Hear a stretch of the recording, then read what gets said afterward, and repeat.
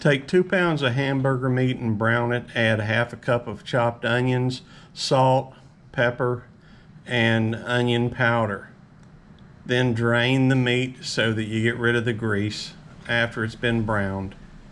Then you put it in the refrigerator to cool it down. Add cottage cheese, ricotta cheese, and mix it up. Boil your manicotti noodles for about nine minutes and add the mixture to a Ziploc bag and fill your noodles. Then you go through and cover that with pasta sauce and cover that with cheese. Bake at 350 for 40 minutes. That is awesome.